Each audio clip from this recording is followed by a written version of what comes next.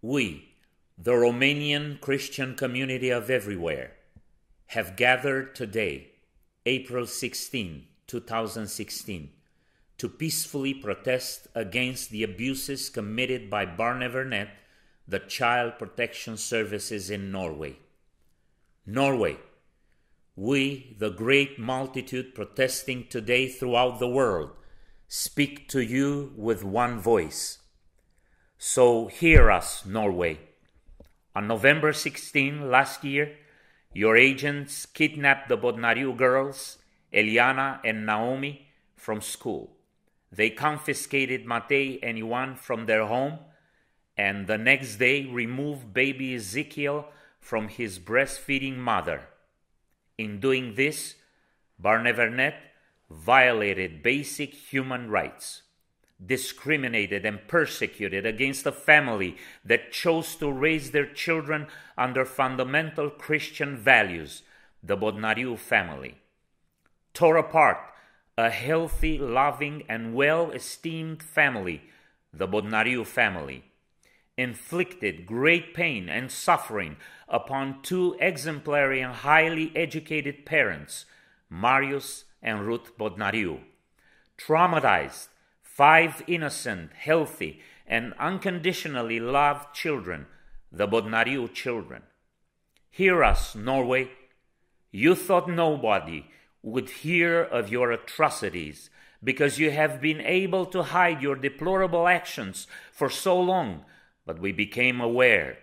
You thought no one would see through your manipulative guise, but we saw through your veil of deceit and understand your hidden motivations. You thought nobody would condemn the atrocities you are committing, but we do, and will make sure the entire world becomes aware of them. You thought no one would stand up to you, but we did, and we will relentlessly continue to stand against sadistic and domineering attacks on families, parents, and children. Norway, we are here, and we are here to stay. 150 days strong and as determined as ever. Hear us, Norway. You've enlisted your mercenaries to present your actions as justified, implying that the Bodnariu case is about abuse.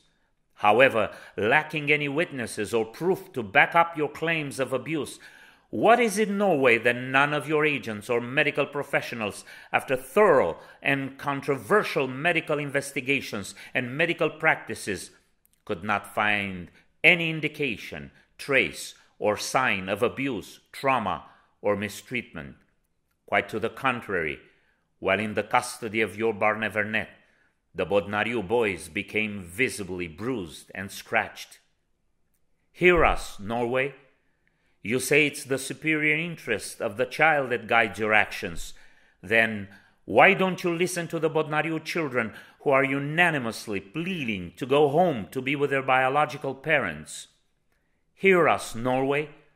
You say that your Barnevernet exists to help parents, but you continue to hold the Bodnariu children captive in spite of Norwegian psychologists and psychologists hired by your Barnevernet vehemently claiming only the highest praises and positive feedback for Marius and Ruth as loving and caring parents.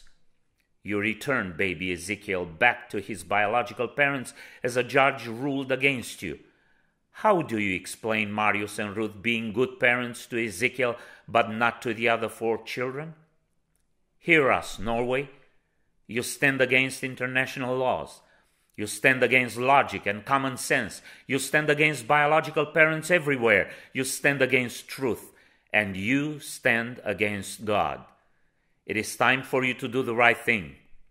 Unconditionally and unreservedly reunite the whole Bodnariu family and drop the case and all charges against these parents.